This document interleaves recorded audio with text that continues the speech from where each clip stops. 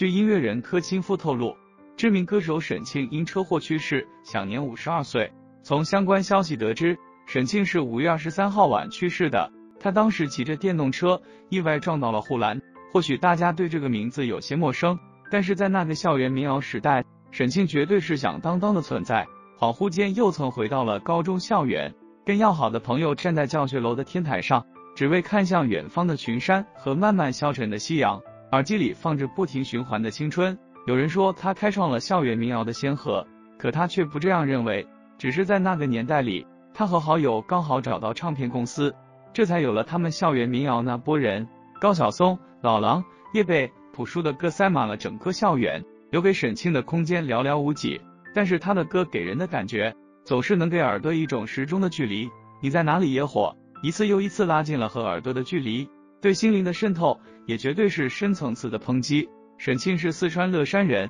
是中国内地男歌手、词曲作者、音乐制作人，毕业于北京农业工程大学企业管理专业。一九七零年出生的他，有着浓厚的文艺气息，这跟他的家庭脱不开干系。沈庆的父亲饱读诗书，深谙没文化真可怕的道理，从小就逼着儿子背诗写字，唐诗宋词一直是他的拿手戏，偶尔写上两笔也不在话下。使他对文字有着天然的敏感，但是这些都不是他最喜欢的。就在上中学的时候，沈庆就很喜欢看书，别人都在嬉戏打闹的年纪，他一个人捧着各种文学作品，一坐就是一下午。那个时候还疯狂的迷恋上了文字组合游戏，成了他茶余饭后消遣的主要方式。但是对于传统文化的拘泥形式，他打心里是有些排斥的。后来邓丽君慢慢火遍全国，沈庆也慢慢接触到了。各种以邓丽君为代表的的流行音乐，他也对此产生了浓厚的兴趣，希望也能拥有一把属于自己的吉他，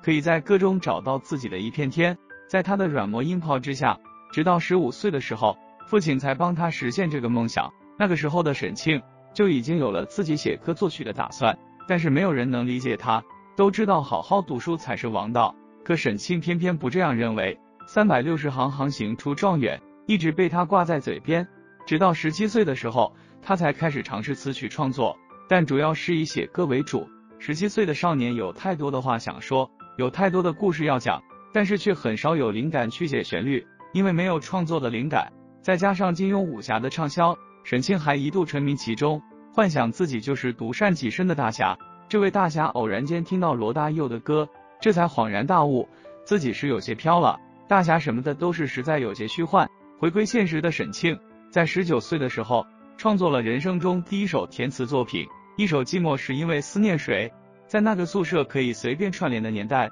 歌词被他早一年的师兄谱了曲，后来成为校园民谣第一波被高度传唱的作品之一，为他打开了创作音乐的道路。在读大学的那个年纪，沈庆开始广泛接触各种类型的音乐。时隔三年的时间，沈庆创作出了划时代杰作《青春》，带着高晓松写的《睡在我上铺的兄弟》等作品。他和玉东到处找伯乐的时候，深圳仙客公司决定出资录制歌曲，但是他们坚持要用专业的歌手来演唱。二十四首校园民谣里，《青春》也成了唯一一首他本人演唱的歌曲。可是《青春》火了，沈庆作为歌手却不见经传。那时候的《同桌的你》和《睡在我上铺的兄弟》却在全国各地风靡，把校园民谣推向了巅峰。对此，沈庆很坦然，他知道老狼是他们中最会唱的。大学毕业之后。沈庆就加入了刘卓辉创办的大地唱片，一开始担任企业策划，后来成了刘卓辉的助理。但是，一心只想搞创作的他，因为公司内卷太严重，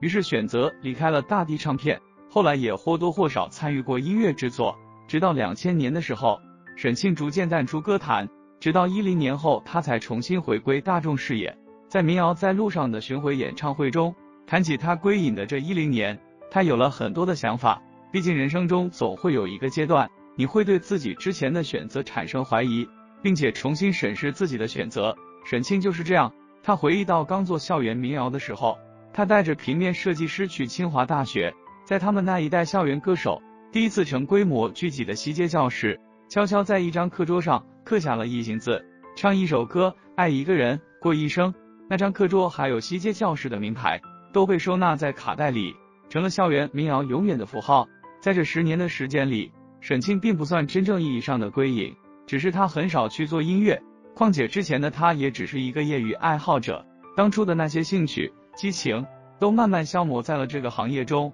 但是比较幸运的是，沈庆在回来做音乐的这些时间，几乎所有的录音作品都保持了跟中国顶级音乐人合作，所以他们做出来的品质都是非常高的。从一四年的时候开始，沈庆几乎所有的作品混响都是李军去带领完成的，他算得上是全球最好的华人混音师。之后，沈庆的歌曲就像是一种常态的创作。他就是当年宿舍里睡在上铺的兄弟，就是在校园草坪上用干涩嗓音唱歌的那个男生。他的表演就像是一把不带任何效果的木琴，没有合唱，没有延时，没有镶边，就只有普普通通的撕裂，普普通通的回声和共鸣，已经普通到不能再普通，平凡到不能再平凡。但是这些所谓的平凡之中，却有着一份得天独厚的感动。这种原生态的声音，实际上也是校园民谣里最具魅力的地方。正如丁薇所说，沈星一直在忙全新的音乐剧创作，他还在凌晨的时候感慨即将要录完的部分，